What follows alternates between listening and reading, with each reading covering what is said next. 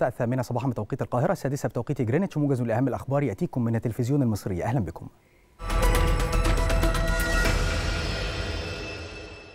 أكد الرئيس عبد الفتاح السيسي أن كانت أو أنه كانت هناك محاولات لتدمير البلاد ولكن تم إحباطها وأضاف الرئيس السيسي في كلمته خلال حفل إفطار الأسرة المصرية على هامش افتتاح مشروعات الإسكان الاجتماعي. أن ما تحقق الآن تم بفضل الشعب المصري الذي تصدى لمحاولات تخريب البلاد. كما أكد الرئيس السيسي أن نجاح مشروع الإصلاح الاقتصادي تم بسواعد المصريين.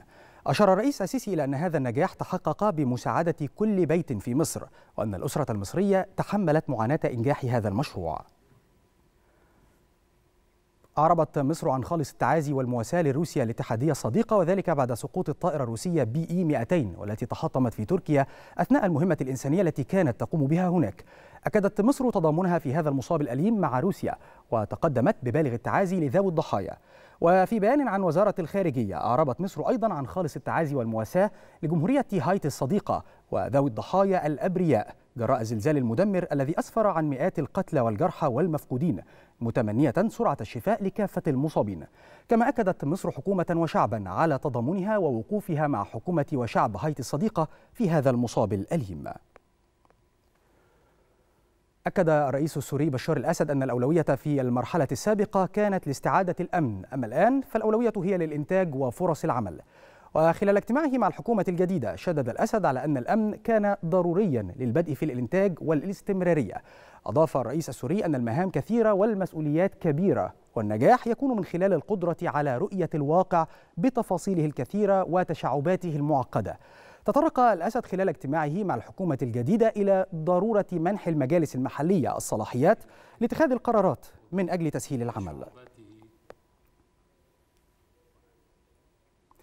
لقي عشرون شخصا على الأقل مصرعهم في انفجار خزان وقود ببلدة تليل بعكار شمال لبنان. وقال الصليب الأحمر إن 79 شخصا أصيبوا في الحادث ونقلوا إلى مستشفى محلي.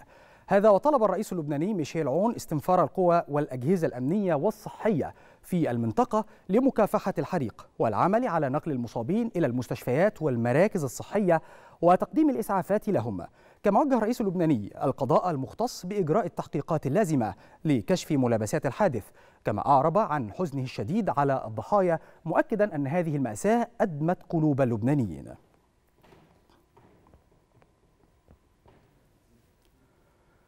أعلنت وزارة الصحة والسكان عن خروج 109 متعافين من فيروس كورونا من المستشفيات ليرتفع إجمالي المتعافين من الفيروس إلى 233881 متعافيا.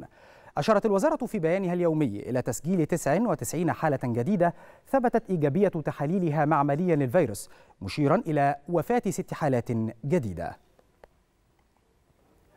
أعلنت وزارة الصحة البرازيلية تسجيل 31142 إصابة جديدة بفيروس كورونا ليرتفع إجمالي الإصابات في البلاد إلى 20 مليون و350 ألف و242 إصابة. أضافت الوزارة في بيانها أنه تم تسجيل 926 وفاة جديدة بالفيروس لترتفع حصيلة الوفيات إلى 568 ألف و788 وفاة. ختام الموجز. نعود لاستكمال باقي فقرات صباح الخير يا مصر ولكن بعد الفاصل.